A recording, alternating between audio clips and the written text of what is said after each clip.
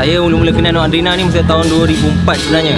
Tapi saya sejak masa jumpa dia masa 2004 tu, saya dah tengok dia ni macam dia ni macam cun lah sikit berbanding yang lain kan. Comel.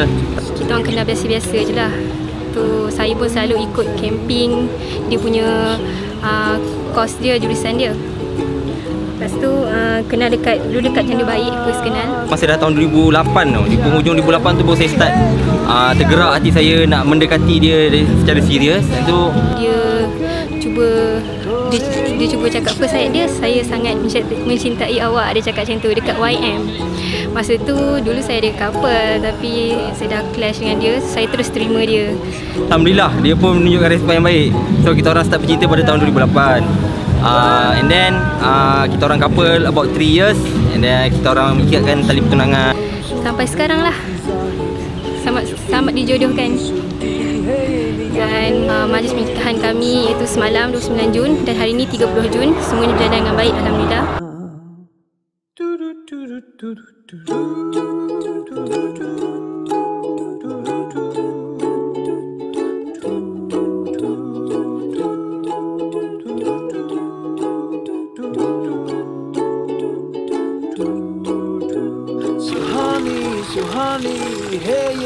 कहानी जो खामोशी सुनाती है, जिसे तूने चाहा होगा वो तेरा, मुझे वो ये बताती है, मैं मगन हूँ पर न जानू कब आने वाला है वो पल जब होले होले धीरे धीरे खिलेगा दिल का ये कमाल, के boom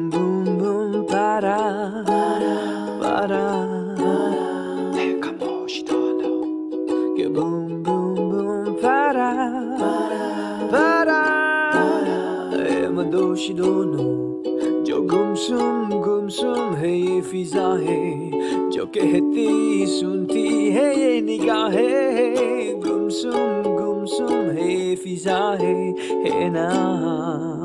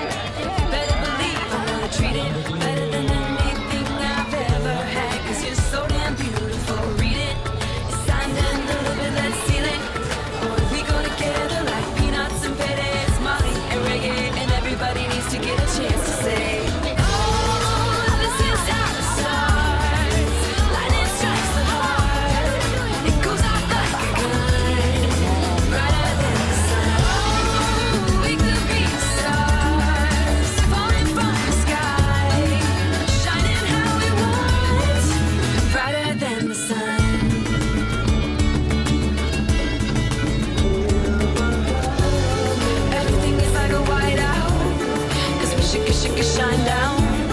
Even when the, lights out. But I can see glow. Got my head up in the rafters. Got me happy ever after. Never felt this way before. Ain't felt this way before. You hit me like a vision. I, I, I wasn't expecting. But who am I to tell fate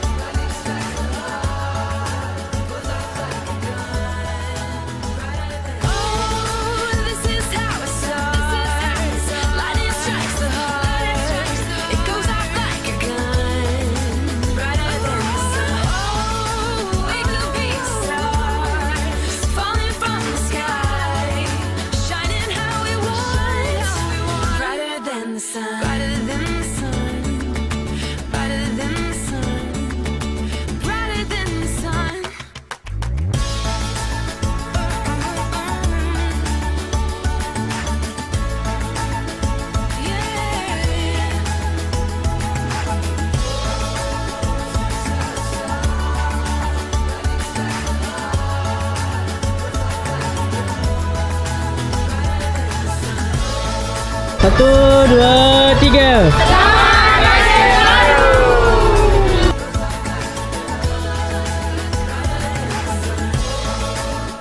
Saya harap dia akan berubah menjadi seorang isteri yang baik, seorang isteri yang soleha. Uh, itu saya uh, dan saya akan berusaha saya berupaya untuk menjadi seorang suami yang baik dan soleh dan berikan terbaik untuk dia dan akan melindungi dia sampai hayat dan saya akan mencintai Nur Adna binti Baharudin sehingga akhir hayat saya. Abang sayang, sayang. dan saya berharap agar dia dapat menjadi seorang suami yang baik dapat mendidik saya dengan baik yang penting dia tidak uh, menggunakan kekerasan dan kaki tangan lah saya harap abang tak macam tu itu je lah dari saya dan saya akan cuba menjadi seorang isteri yang baik untuk membantu dia. Okey. Ah, harapan abang kalau boleh selepas kahwin ni kita cepat-cepat dapat anak ah, supaya nenek abang sebenarnya selagi ah, kita tambah lagi keluarga besar berkeluarga kita akan besar tu anak ah, nenek abang akan dapat cicit. Ah, so abang nak bagi nenek abang sempat merasa dia ada cicit. Okey. गुमसुम है ये फिजा है जो कहती सुनती है ये निगाहें गुमसुम गुमसुम है ये फिजा है है ना